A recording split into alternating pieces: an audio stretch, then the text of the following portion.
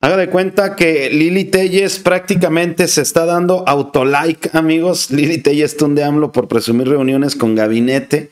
Ahorita le doy todos los detalles. Desde luego, Guillermo del Toro pues, se monta este trending y dice que la sistemática destrucción del cine mexicano y sus instituciones, dice lo que llevó décadas construir, ha sido brutal. Sobrevivimos el sexenio de López Portillo, pero esto no tiene precedentes y ahí mismo se monta el cochiloco llama ignorantes a AMLO y a la 4T, a Frausto en mi cine, les dice floreros que cobran todos los detalles. A continuación, con López Obrador, México se ha convertido en un destino privilegiado para la inversión, decía el jefe del Ejecutivo. Le voy a presentar todos los detalles y es que ya, para que esta fachiza pueda quedarse tranquila, el mismo Carlos Slim ya se ha bajado de la compra de Banamex. Ya ven que andaban ahí pues muy desatados con este. Con esta situación, ¿verdad? El que no para es eh, Claudio X González, uno de los junior fifís, beneficiado en la época del neoliberalismo, un personaje que sabemos que lo único que extraña son esos privilegios arrabaleros que tenían en estos gobiernos neoliberales. Bienvenidos, bienvenidas, señores, señores. Venga, póngale like, ya sabe, vamos, vamos a darle.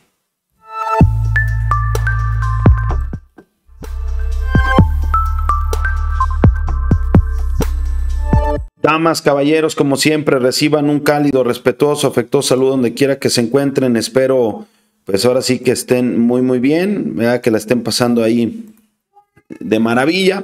Gracias, como siempre, por el apoyo incondicional. Pues Lili Telle se monta a la palestra nacional una vez más, ¿verdad? Tunde AMLO, por presumir, dice mil reuniones del Gabinete de Seguridad Dice Lili Telles sin resultados. La senadora del PAN arremetió contra el presidente López Obrador por presumir estas mil reuniones del Gabinete de Seguridad y es a través de Twitter. Ya sabe que solamente Lili Telles se pone brava en Twitter. Es la única manera, pero obviamente a conveniencia. Un personaje como Lili Telles que fue pieza clave en esta elección en el estado de Aguascalientes con la hoy gobernadora Tere Jiménez que hace unos días, bueno, eh, sabemos de esta lamentable situación del helicópterazo, donde dicen que los mismos panistas sacaron del camino al secretario de Seguridad Porfirio, que en paz descanse, y que no, no hizo manifestación alguna, no hizo señalamiento no exigió nada, al contrario, las autoridades en aquel estado pareciera que salieron a dar carpetazo, incluso salían varios vínculos con el esposo de la gobernadora ahí relacionados con eh, pues corrupción, eh, con algunas chicas traviesas que estaban en algunas reuniones y que inclusive trae señalamientos de la maña, dicen que era un personaje prácticamente que le estorbaba ahí a los dos, una situación maquiavélica que inmediatamente, bueno, todo parece ser le dieron carpetazo y Lili Telles, mire, en ese sentido no dice nada. Se les caen los argumentos a ellos solos, escupen para arriba, se quedan en el mismo lugar y, y es que vemos otro estado fallido, el mismo Guanajuato, gobernado por el PAN. ¿Qué está pasando con estos panistas que parece ser no se llevan bien con los helicópteros? Si hacemos un recuento, puro paniaguado y qué curioso, amigos, la mayoría fueron eh, en, esta situación de políticos, Mourinho, todos estos, mm, Erika y todos, qué curioso, panistas, ¿no? Llaman la atención eso. Pues Lili Telle se fue en contra del presidente López Obrador, ¿verdad? Sabemos que anda desesperada. Por otro lado, bueno, pues eh, como les decía, el cochiloco, justamente el actor mexicano Joaquín Cosío, famoso por interpretar este personaje, arremetió contra el gobierno de López Obrador después de que la Academia Mexicana de Artes y Ciencias Cinematográficas anunciara la suspensión mm, del Ariel 2023 debido a una crisis financiera. A finales de octubre, Cosío también criticó a López Obrador al salir en defensa del escritor Juan Villoro, quien en entrevista con Proceso realizó una serie de críticas al actual gobierno de López Obrador, en el que momento, en aquel momento este vato afirmó que el mandatario no llegaba ni a la suela, ¿no?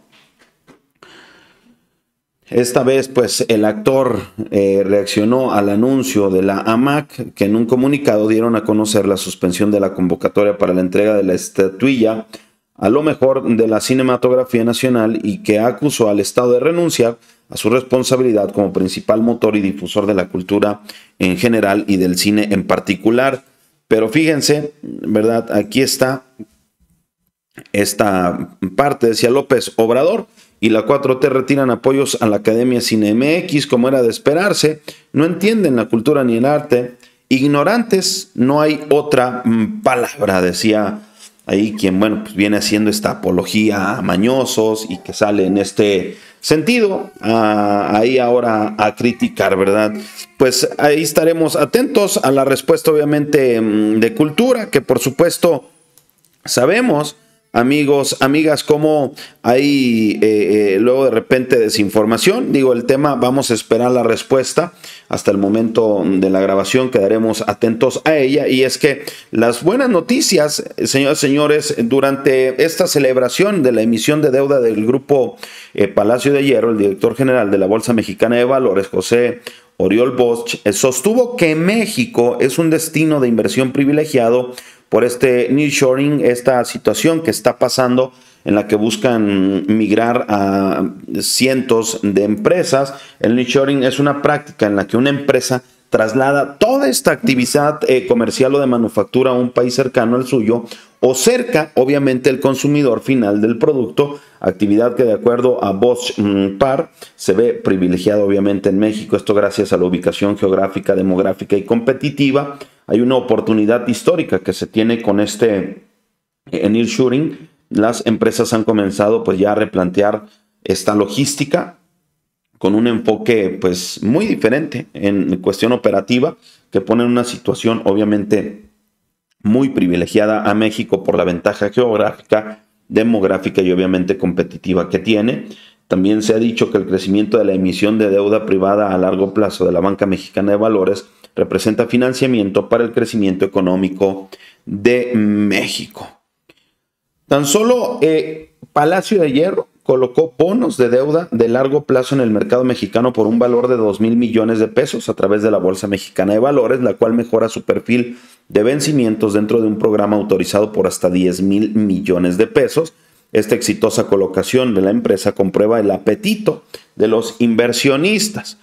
Se viene interesante el asunto, amigos, mm, ¿verdad? Y es que dentro de eso, bueno, pues también a quienes no pueden ver estos opositores por las declaraciones y los señalamientos que ha hecho interesantes de manera positiva Carlos Slim en las últimas semanas, pues eh, eh, estaban preocupados y ocupados si Carlos Slim iba a ser el siguiente eh, el dueño de Banamex, pues ya, según con un comunicado dirigido a la Bolsa Mexicana de Valores, se ha informado que el magnate no va a continuar con la compra del banco. El grupo financiero Inbursa agradeció la invitación al proceso llevado a cabo por Citigroup por esta potencial venta de sus negocios de banca de consumo y banca empresarial en México, pero señaló que el retiro de su propuesta la realizó en mutuo acuerdo con el grupo bancario, el grupo financiero Inbursa, Agradece obviamente haber sido invitado a participar, pero dice, por ahora no me interesa este tipo de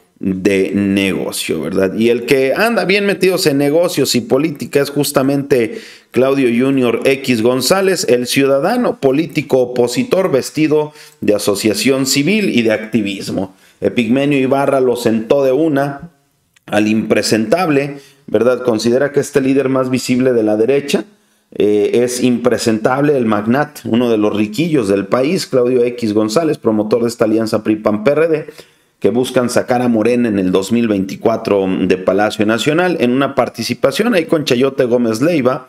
El cineasta y periodista dice que es una paradoja que habiendo tenido la mayor convocatoria para marchar en contra de la reforma electoral promovida por López Obrador, no tenga un líder fuerte y con arraigo entre la población, ¿verdad? Y es que eh, pues estos vatos sabemos cómo son de arribistas, de oportunistas y que prácticamente están enquistados en la política mexicana. Sin embargo, bueno, el mismo Claudio X González dice que van a este domingo a estar muy presentes ahí en la, en la marcha, esta convocatoria para el festejo de los cuatro años del gobierno de la 4T, documentando acarreo, cómo les pagan, con, si solamente efectivos y con artículos, todos los camiones que van a llegar, obviamente supieron hacerla, amigos, y guarda este, esta parte del video. Van a ir cientos de camiones de toda la República Mexicana, eh, organizados por eh, vecinos, personas que dicen, oye, vamos a rentar un camión, vámonos. Y, y, van a llegar y va a haber muchísimos camiones y eso es lo que van a utilizar para decir que es puro acarreado. De mí se acuerda. Ya incluso hay lugares donde no hay camiones ya. Hay entidades en el país donde ya no hay boletos, no hay camiones, está la gente desatada y, en el buen sentido lo digo, motivada, es la palabra, motivada, feliz de ir a apoyar y ser parte de esta histórica marcha. Se dice que va a ser la más grande de la historia en la política moderna. Y pues la gente está feliz, amigos, motivada, va a querer llegar a ser parte de esta historia. Y pues de ahí se van a agarrar, va a ver, van a decir, mire, ahí está, cientos de camiones, ve aquí todos los camiones, y eso van a andar diciendo, que puro acarreado, ya dijo Claudio X González que hay que documentar eso. Pues ya ven, ahí todos bien, todo bien. Este, ya ven que incluso la misma Sandra Cuevas dijo que este, pues que hay que ir a documentar, que va a andar ahí patrullando. Amigos, amigas, hasta aquí el video. Regáleme su comentario, su like, no deje de suscribirse. Gracias por la confianza. Soy Polo Puga, nos vemos en un siguiente video. Cuídense mucho. Adiós.